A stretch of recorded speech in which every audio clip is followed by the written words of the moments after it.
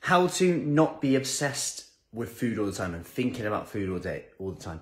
It's something that comes up a lot when trying to eat better, getting better habits around food, lose weight, get fitter, be healthier, all of these things. And and I totally get that. If you're coming in give me a hello, if you're on replay, drop a replay below. If you want more information, by the way, about our summer shape up, just comment below of summer and I'll get you the details. So how, how is this? What how can we find a way where we're not thinking about food all the time? Now, it's a really interesting one because someone might say, you know, I'm oh, I just find myself struggling to stick to stuff. I just find myself picking too much, snacking too much. I know I need more control, but I would never want to track food or weigh food or measure food or plan meals. It's just too much. I don't want to be thinking about food all the time.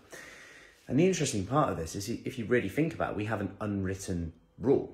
We have subconscious rules in here where we we're because we have no no kind of guidance rules and we're just kind of trying to be good, the rule is that we're just going to go by how we feel.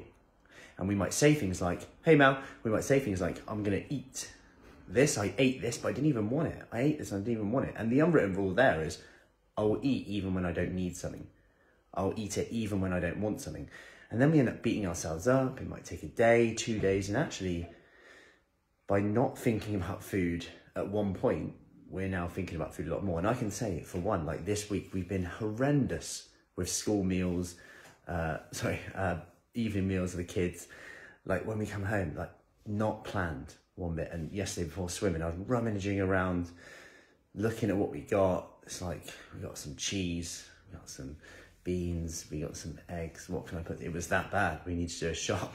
And I was like, right, um, let's put something together. And as a result of that, I'd probably end up eating more because we were just picking a bit because there wasn't anything real significant. Whereas the the best days are the days where I've gone, yes, I've made like meatballs the day before. And although it seems like effort, when I actually did it, I was like, you know what? Like I was doing other stuff anyway. They were just simmering away in the background. And when we come back, oh, there was no like, oh, what am I going to get? What have we got? Got to think about that. What think about that? And the more decisions we have to make in a day, the more willpower we have to use, the worse our decisions are likely to be.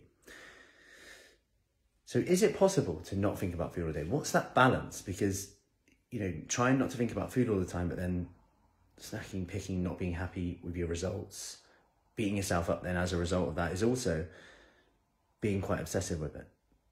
So what we suggest is that you look at one thing you can change today, whether that's I'm going to plan my snacks in today, whether that's I'm going to plan my lunches in today, whether that's the snacks I'm going to have today are insert here, really simple whether that's I'm going to have protein with every meal. Start with one thing that someone in the street, if you went up to them and just said, This is what I'm doing, they would understand. It has to be simple, not I'm going to eat healthier. Hey, Jane, I'm going to eat healthier. It sometimes isn't enough.